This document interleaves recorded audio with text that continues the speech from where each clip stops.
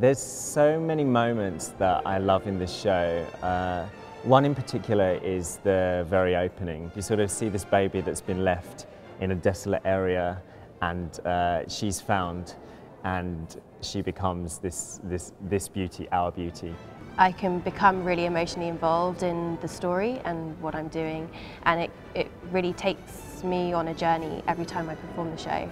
I, I kind of love some more poetic moments, you know, sort of I feel quite proud of them in, this, in the second half. There's a whole beautiful sequence in a, for, a white forest where it's full of sleepwalkers all in limbo, sort of between living and uh, death and um, and Aurora is sort of there in this in this world of sleepwalkers and this large moon at the back and it, it's just a very beautiful scene and I think I always love watching that.